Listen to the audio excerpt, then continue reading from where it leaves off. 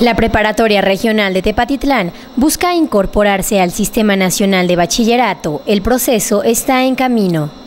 Que es un proyecto nacional, no es, no es exclusivo del Estado de Jalisco y en donde participan colegios de bachilleres, CECITEC, CEBETA, ZETA, CECATIS, todos los eh, subsistemas del nivel medio superior.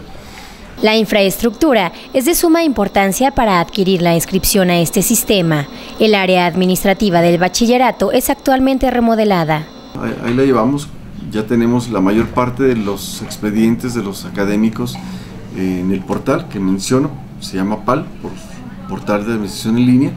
Ya los tenemos y el próximo jueves, que es el jueves 18, tengo una, una cita en SEMS, en Guadalajara, para ver, o sea, qué me falta, cómo vamos y si la solicitud ya la puedo hacer en la tercera o cuarta semana de A finales del mes de octubre se tendrá la visita de personal COPEPS, organismo encargado de constatar que los datos de la solicitud que presentó el plantel sean los mismos físicamente, así como el plan de estudios y el desarrollo y aprendizaje del alumno.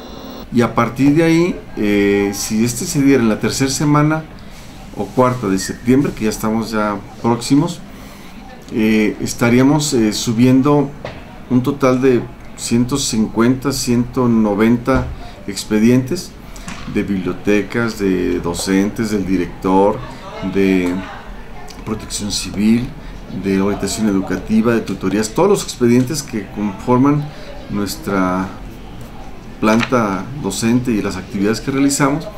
Y ya el organismo externo, que es COPEMS por sus siglas, viene y nos visita eh, tentativamente para finales de octubre.